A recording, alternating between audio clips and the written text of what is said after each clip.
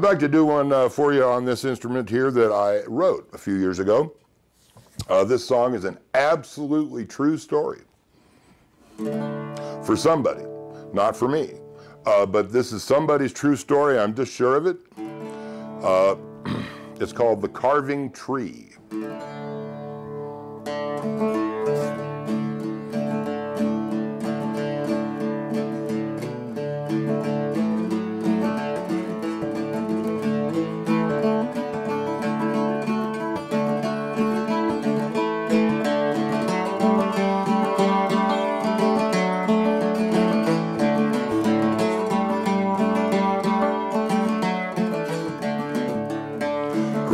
Said, let's go for a walk by the banks of the river to the big oak tree.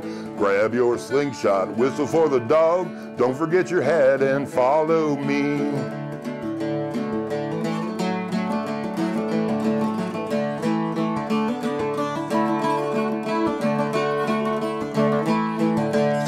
Walked for a ways on that bright sunny day till I picked up a rock about the size of a dime. Shot it at a squirrel, but I missed by a mile, and Grandpa said, You'll get him next time.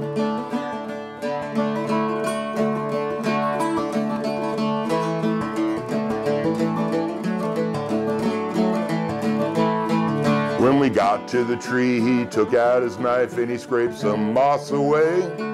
Saw the name of my brother and a couple of my cousins, and I knew it was gonna be a big day. Then he got to work and he carved my name right below my father's on the carving tree. Told a little story about some of the names, and he folded up his knife and he gave it to me.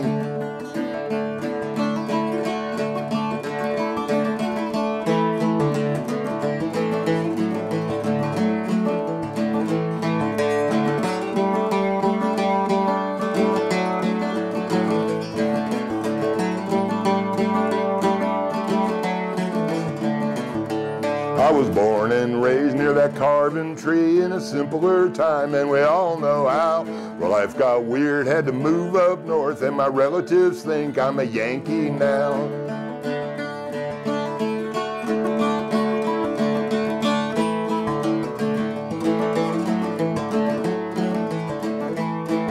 But I met a great gal and I made her my wife. She's the mother of my children and a joy to me. Took her back home and the family loved her and I carved her name in the carving tree.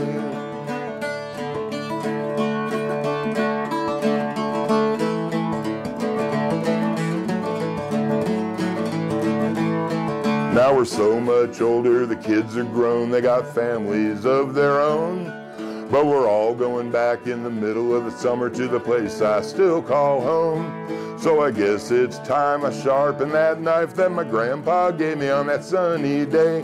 Get my grandson to go for a walk and pass along the knife. It's the family way.